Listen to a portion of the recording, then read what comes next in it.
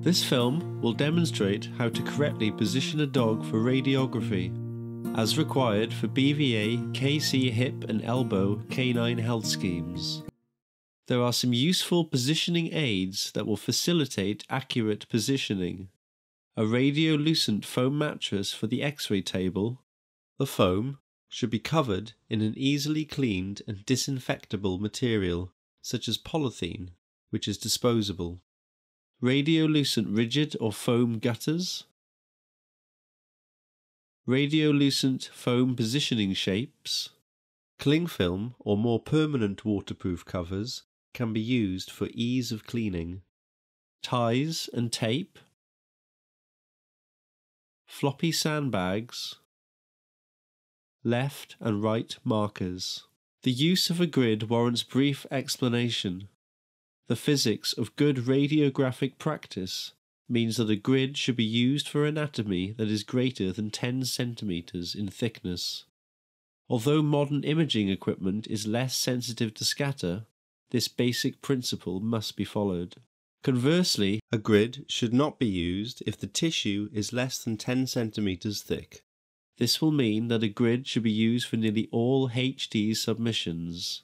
Very few breeds will have pelvic thickness less than 10 centimeters. A grid should not be used for elbows from any breed. To achieve accurate positioning and to comply with important safety legislation, all dogs will have to be anaesthetized or deeply sedated.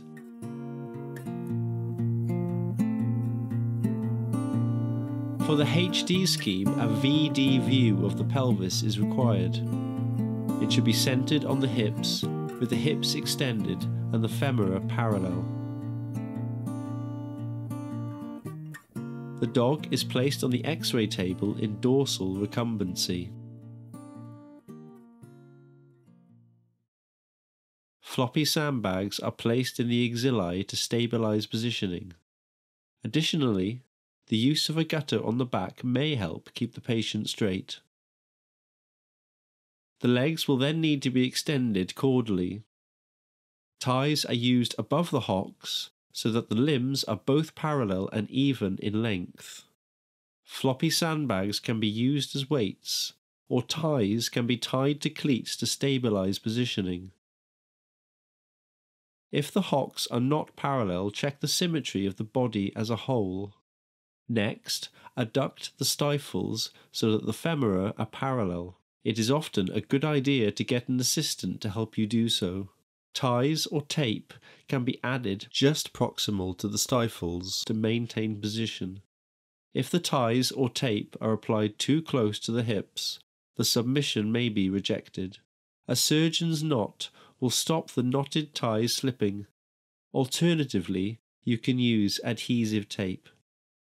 It is useful to use a suitable sized foam block underneath the hocks and a floppy sandbag over the hocks to aid symmetrical positioning.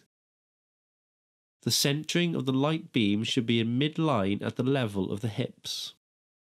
This centering can be checked using the great trochanters or pubic brim as landmarks.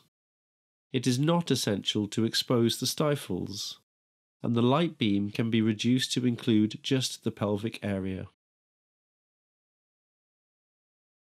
One of the most common errors is pelvic tilt. This is likely to happen unless the whole of the dog is straight. In this instance, we can see that the dog is tilting to the dog's left. Here is an example of good positioning. In order to maintain body temperature, bubble wrap can be used as an insulator. Be sure, however, that it is kept out of the area of interest during exposure. Finally, here are some examples of common errors.